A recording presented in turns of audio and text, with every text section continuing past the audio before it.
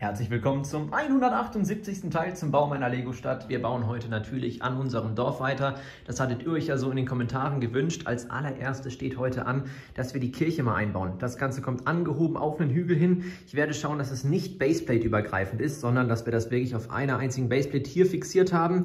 Dementsprechend werde ich schauen, dass die Hügel zwar zusammenpassen, optisch, aber jeweils getrennt sind auf den Baseplates. Das ist der erste Punkt. Und der zweite Punkt ist, dass die Kirche dann abnehmbar ist. Wir haben ja von unten hier die ganze Verkabelung noch drin von dem alten Setup. Da werde ich auch nicht allzu viel dran ändern, damit das Ding dann beleuchtet irgendwann ist. Beziehungsweise beleuchtet ist es ja, es muss nur angeschlossen werden. Dementsprechend erreichbar muss das Ganze von unten sein und auch abnehmbar, falls man mal irgendwelche Verbesserungen machen möchte. Das heißt, wir werden den Hügel so vorbereiten, dass das Ganze auf Flatheads abschließt, dass man es leicht anheben kann und bearbeiten kann. Jetzt als erstes werde ich mal die Grundfläche der Kirche abstecken, sodass wir wissen, wo wir die Flatheads hinbauen müssen, wo die Umrandung hinkommt und bis dahin wird dann der Hügel gebaut. Ganz kurz vielleicht noch, dann geht es auch schon los. Ich habe mir jetzt hier die Grundform der Kirche abgesteckt.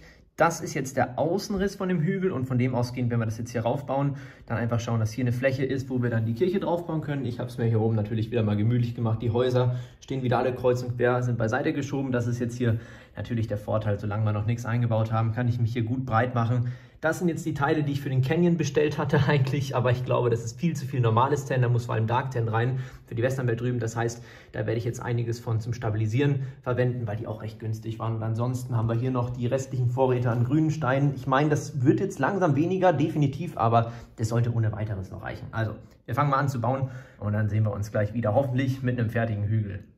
Fertig ist der Hügel zwar noch nicht, aber ich habe mir gedacht, es ist jetzt dann doch mal wieder an der Zeit, dass ich mich melde. Ich habe jetzt wieder ein, zwei Stündchen hier weitergebaut. Ist einiges weitergegangen. Ich habe sogar schon geschafft, hier oben das Ding auf die Endhöhe zu bringen. Hier geht ja noch insgesamt ein Brick rauf. Die Kirche sitzt ja auf diesen dicken, ja Plates sind es ja nicht, es sind ja wirkliche Bricks, nur dass es eben solche riesigen Teile sind. Und dadurch gewinne ich dann nochmal zusätzlich an Höhe. Das Ding wird dann einfach hier rein versenkt und ergibt dann einfach ein schönes Gesamtbild mit dem restlichen Hügel. Das habe ich schon getestet. Sieht bis jetzt ganz in Ordnung aus, außer dass diese Kante hier rausguckt zum Beispiel. Habe ich mich genau um einen Brick verrechnet. Das muss ich jetzt gleich irgendwie verstecken mit ein paar Plates.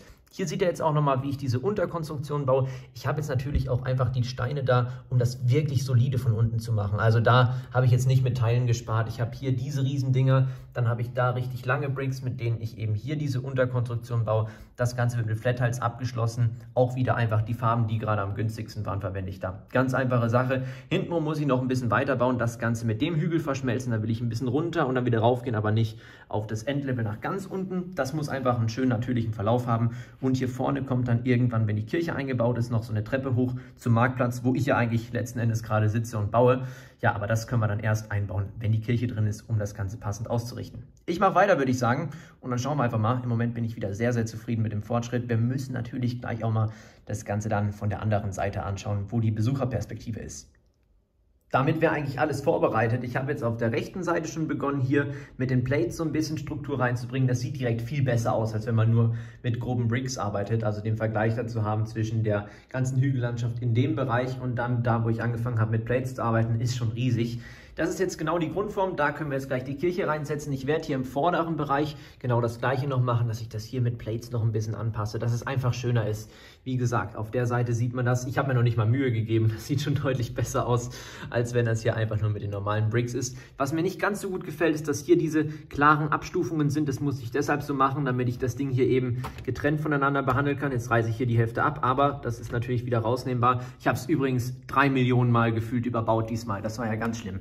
Da habe ich wirklich einiges rückgängig machen müssen diesmal. Das kommt aber raus, dass ich es einfach noch nicht gewöhnt bin, dass ich hier modular baue. Es hat sich aber gelohnt, die Sachen rückgängig zu machen.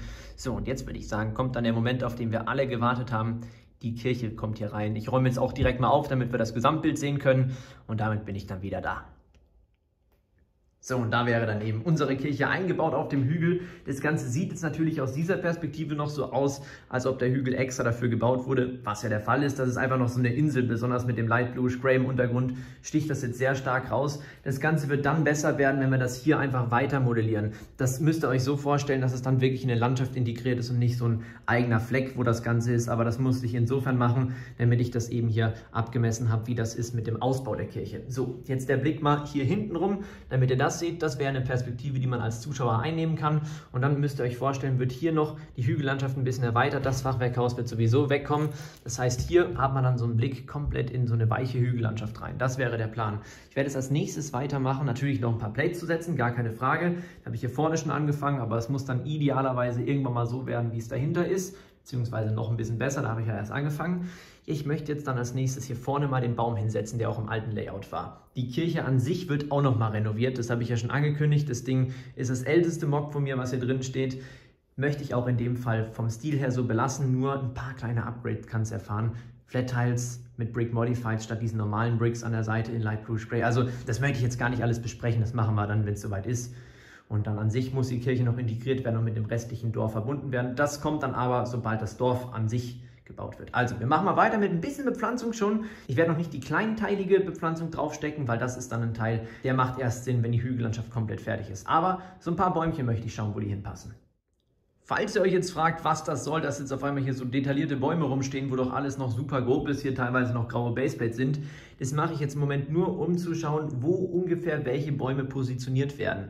Und ich muss auch außerdem sagen, dass mir das einfach saugut gefällt, wenn das hier mit diesen grünen Hügellandschaften überall kombiniert ist mit den Bäumen. Also, dieser Baum bleibt auf jeden Fall. Den werde ich wahrscheinlich sogar so drin lassen. Auch wieder hier mit dem Wurzelwerk, was dann eben über die Steigung drüber geht. Das sieht dann recht solide aus, ist dann einfach schön verankert. Und ansonsten bin ich gerade so am Experimentieren, auch um zu planen, wo ich welche Flächen lasse. Es ist ja immer relativ schwierig, auf direkte Steigungen Bäume draufzubauen. In dem Fall konnte ich das gut mit der Wurzel, wie gesagt, übers Eck machen, aber an sich ist das nicht immer so leicht, dass es gut aussieht.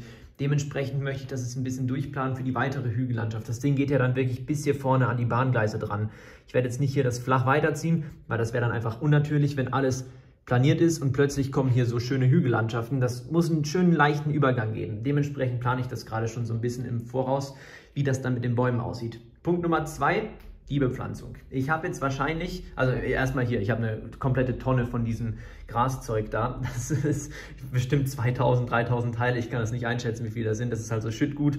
Habe ich auch günstig bekommen. Jetzt die Idee wäre, dass wir diesmal mit diesem Gras arbeiten und nicht wie das letzte Mal mit diesem bambusartigen Zeug. Ich weiß wieder nicht, wie die Teile heißen. Ich blende euch das mal gerade ein. Damit haben wir ja das letzte Mal den Hügel gestaltet. Ich finde aber tatsächlich, dass hier im ländlichen Bereich vor der Kirche so eine blühende Wiese vielleicht viel, viel besser kommen könnte. Dann könnte man mal schauen, welche Farben man da wie verwendet, ob man das jetzt alles mit blühenden Pflanzen vollkleistert oder da so kleine Flecken reinbaut. Das ist dann aber alles langfristig jetzt erstmal geplant.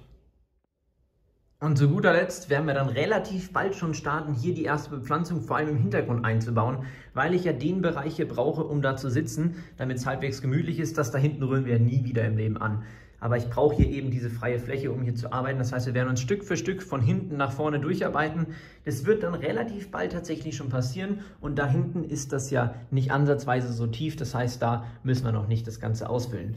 Die nächste Geschichte ist, dass es jetzt nächstes Video, glaube ich, in der Westernwelt weitergeht, weil ich nämlich im Moment unlimitiert gefühlt Ideen habe für die Westernwelt. Das heißt, da wird recht viel kommen und dann ist der nächste Bricklink-Warenkorb, der wächst. Insbesondere hier für die Fachwerkhäuser. Ich kann ja mal das Haus nochmal von hinten zeigen. Das musste ich ja unter anderem deshalb damals abbauen, weil, wenn ihr euch noch erinnert, der Platzmangel im alten Layout, da ist der Zug ja hier hinten in das Haus runtergefahren. Das war ja komplett wild. Das war hinten in der einen Stelle, wo der aus dem Berg rausgekommen ist und dann diese Abfahrt nach unten war. Da war ja wirklich absolut gar kein Platz. Dementsprechend muss ich jetzt die Häuser alle mal auffüllen. Und ansonsten das andere Haus von hinten könnt ihr auch mal sehen, da sind ja diese ganzen Fenster eingebaut. Das ist nicht ansatzweise so, dass es passt. Ich möchte aber diesmal die Häuser wirklich komplett rundherum sauber abschließen. Das bringt mich dann zum letzten Thema für heute und zwar der Kirche. Entweder, das haben wir jetzt zwei Möglichkeiten eigentlich, wir machen das Ding von hinten offen, dann hätte man jetzt die Möglichkeit reinzuschauen von hinten oder wir machen das Dach abnehmbar. Das Problem ist, mit dem Dach ist es nicht ganz so leicht, weil wir natürlich die Uhr haben und das Dach ein bisschen verwinkelt und schräg ist. Das sind jetzt so die Möglichkeiten, die wir hätten. Also, ich glaube, damit hätten wir alles abgearbeitet. Wie gesagt, nächste Folge geht es in der Westernwelt weiter. Es tut mir leid, dass das Video nicht ganz so lang war. Das wird das nächste Mal wahrscheinlich ausnahmsweise auch nochmal der Fall sein. Aber ich glaube, vom Fortschritt her passt das nichtsdestotrotz. Ich kann halt nicht ewig über Hügel erzählen. Das ist einfach so das einzige Thema bei der ganzen Geschichte. In diesem Sinne hätten wir jetzt das Ende dieser Update-Folge erreicht. Ich hoffe natürlich, wie immer, dass euch das Video gefallen hat. Solltet ihr den Kanal noch nicht abonniert haben, dann macht das doch sehr, sehr gerne, um keine weiteren Videos mehr zu verpassen. Und dann sage ich jetzt wie immer vielen, vielen Dank fürs Zuschauen und bis zum nächsten Mal. Tschüss!